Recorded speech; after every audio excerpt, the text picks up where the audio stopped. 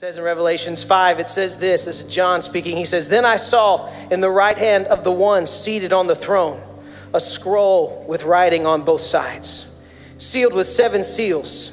And I saw a mighty angel proclaiming with a loud voice, Who is worthy to open the scroll and break its seals?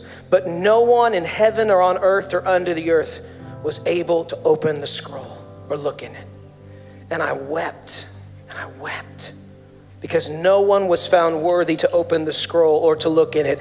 Then one of the elders said to me, Do not weep. Look, the lion from the tribe of Judah, the root of David, has conquered so that he is able to open the scroll and its seven seals.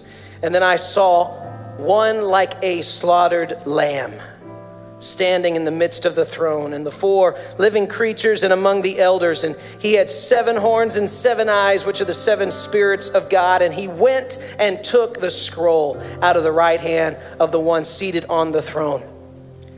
And when he took the scroll, the four living creatures and the 24 elders fell down before the Lamb. And they sang a brand new song. We have never heard this song, church, but it says this He says, You are worthy to take the scroll and to open its seals because you were slaughtered and you purchased people for the Lord by your blood from every tribe and language and people and nation.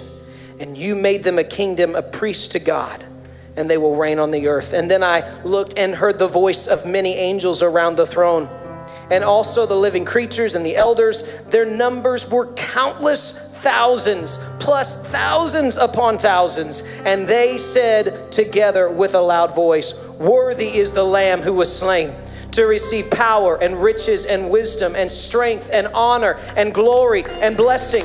And I heard every creature in heaven and on earth and under the earth and in the sea and everything in them say together, blessing and honor and glory and strength to the one seated on the throne and to the Lamb be praised. Amen and amen. Come on. Hey, thanks for watching. To find out more about Houston's First, you can subscribe to our channel or you can go to houstonsfirst.org.